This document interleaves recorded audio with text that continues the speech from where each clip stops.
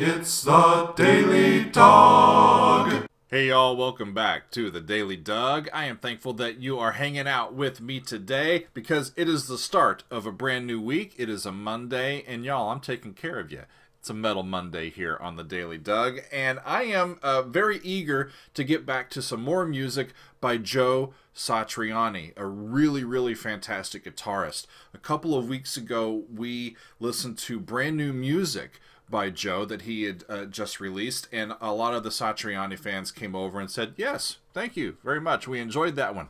But you know, he's got a a most excellent back catalog of a whole bunch of great music, and so the recommendations have been pouring in, and I have selected for our second uh, song by Joe Satriani, "Surfing with the Alien." Uh, classic track, they tell me, and this one was uh, recommended uh, to us specifically by our friend Aaron over on our Discord. So thank you to Aaron. Um, this track is from Joe's second studio album. It was released in 1987. And the interesting thing that I read about this, y'all, is that uh, he, he didn't have much of a budget to put together this album. And as a re result, he does a lot of the playing uh, himself on this album. Uh, Joe plays the guitars. He also plays bass. He does some drum programming. He plays a little percussion. He is involved in the production of it, and he wrote all the songs. Uh, a guy named uh, Bongo Bob Smith did the drum programming and sound design, and Jeff Campitelli did the drums and percussion. So uh, all you hear is Joe and then some some programmed drums and occasionally some some live uh, drums uh, uh, that they recorded, and that uh, puts together the entire album. So I'll be very interested to see how uh, Joe has put this all together and what it sounds like, and why uh, a whole bunch of people have been asking me to listen to it. So let's take a dive into Surfing with the Alien by Joe Satriani. Here we go.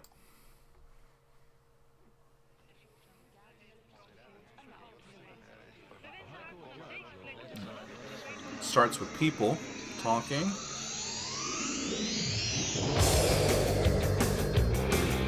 Blast off, y'all.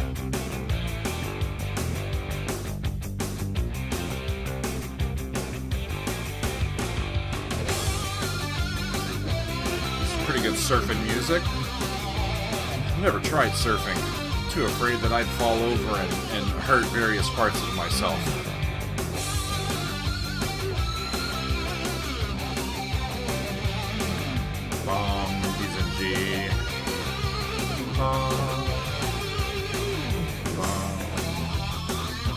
Sixth chord.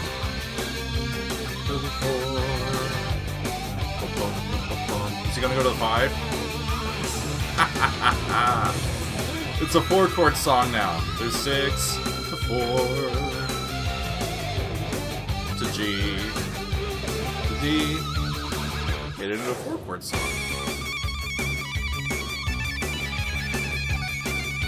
No longer a four chord song. He went to the D, then went down to C sharp, a half step. Then went up a whole step to D sharp. Climbing the ladder. Another whole step. So now that's an F. Listen to that shred though. That's maybe the alien doing the surfing. And then back to G. Okay. Hang on. Um, what just happened? Uh, that's that's cool. Uh, so maybe it's Joe versus the alien in a surfing competition, and uh, maybe it should be surfing versus the alien because that's the kind of thing that's happened in my brain based on uh, the chords that uh, I have heard in this song. So he's in G and just kind of rocking out between a G chord and a C chord and then back and forth and, and getting this groove together. Then he goes into the four chord progression. Six, four, one, five, right? It's that classic four chord song progression that starts on the minor chord. Uh, and then when he got back to that five chord, that D, he went down by a half step to C sharp um, and just started riffing on that. And that was just a break that thought, okay, it's not the same person or the same um, role being played anymore. It's almost like the Charlie Daniels band, that that great uh, The Devil Went Down to Georgia. Sometimes you know it's Charlie playing fiddle and sometimes it's the devil playing fiddle. That's the sense of t- uh, that's what I get from this. Is that sometimes it's Joe playing eh, or surfing and sometimes it's the alien surfing and who's going to win. And they get to that C sharp and then it went up from C sharp to D sharp, a whole step, and then D sharp to F, another whole step in harmonically. And then by the time we get another whole step up back to G, it sounds like Joe playing again. And that's where I left off. Let's keep going.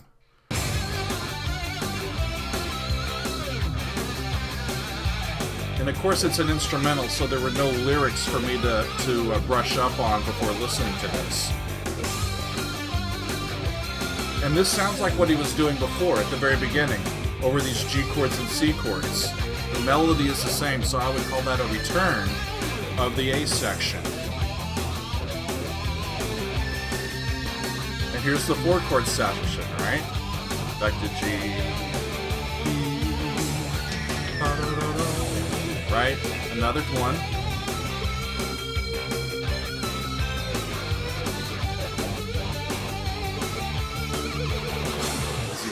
Again?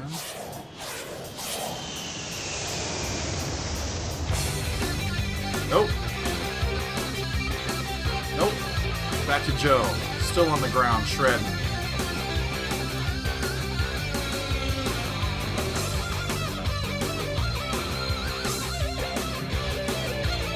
The portamento on that is really cool.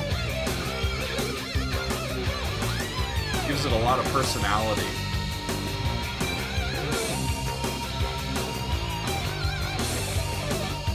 It's a great driving down the road with the top down kind of song, too.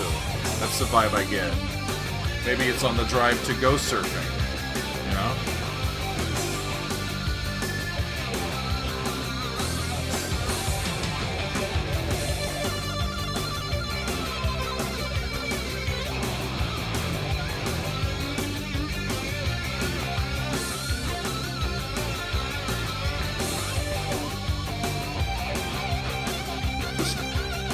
Classic shredding, right?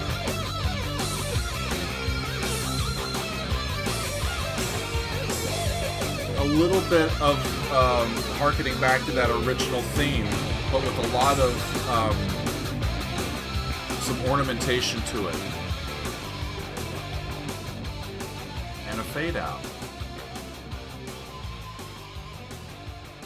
That's a fun listen, y'all. I just wish it went on a little longer, right? Uh, because you, you, you, you know, who has like, uh, who's to their destination? you know, when they're driving with their car uh, after four minutes. We need to listen to, to more of it.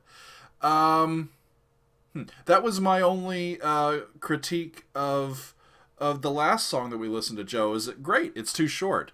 Um, and that that reminds me, as I was reading in, a lot of people had asked for "Surfing with the Alien," but a whole bunch of people also had asked for a song called "Satch Boogie." And as I was reading in today, I realized that Satch Boogie is also on this album.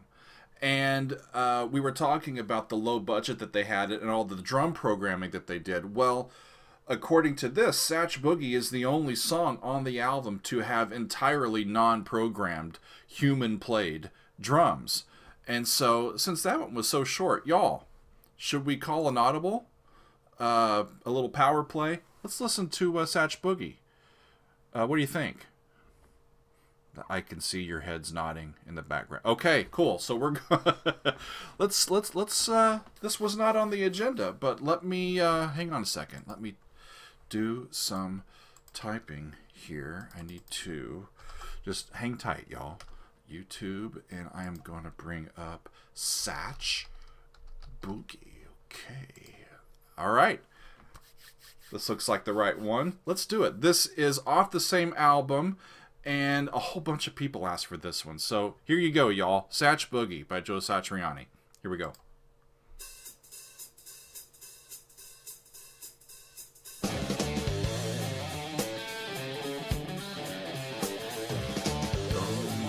A. Woo! Whoa! Landed on flat two, now he's back. Shut up, Doug.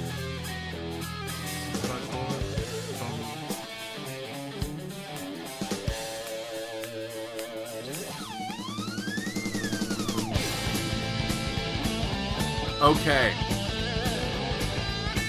Sounds classic Mixolydian um, to me. It's an A dominant seventh chord that he's riffing on. It's got a G natural, and that's what I'm hearing at the top. And that's the scale that he's playing. To the four, D. Nice bass work.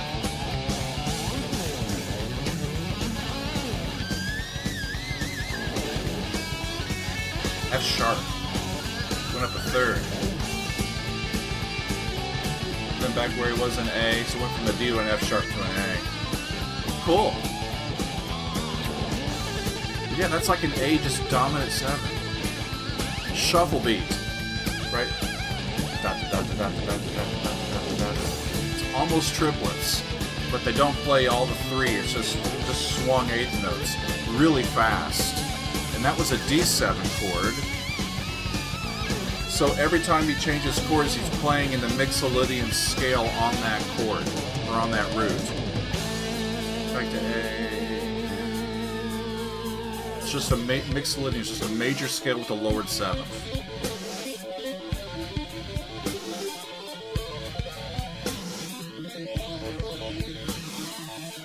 That's cool sounding, y'all.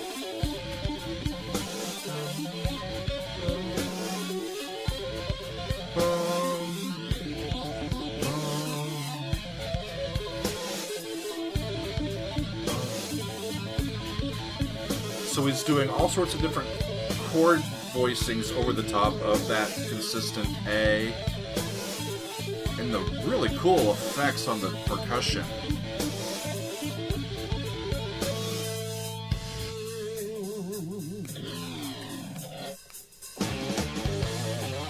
Back to the beginning.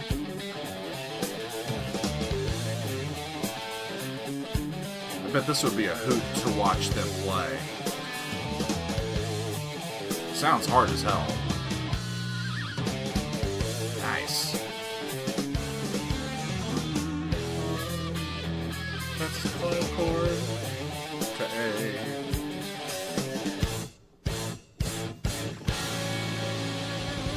Then you've got like a A7 to, to finish it off there. That occasionally had like some good old fashioned, like it says boogie, some good old fashioned boogie woogie music in it and um, that was fun. I'm glad I listened to both of those while I was here. Might as well have two uh, by Joe Satriani. That was fun. Surfing with the Alien, followed by Satch Boogie. You know, I did get to see Joe Satriani in concert uh, as part of a G3 show. Um, it's the most guitar I've heard in one night uh, ever. it was a lot of fun. Uh, let's see, Satriani was there, and Joe Petrucci, uh, John Petrucci, I'm sorry, was there, and uh, Phil Collen from Def Leppard was there, and uh, it was a fun night. Whole lot of guitar uh, that night, and uh, I remember Joe just just playing extremely tasteful solos and great technique, and the sound was always great. So um, a lot of respect for uh, Joe's music and for his playing. Glad to uh, to get back to some of that today, and uh, we got some more great ones coming up for you guys. So thanks for hanging out with me today, and we will see you next time on another edition of the Daily Doug.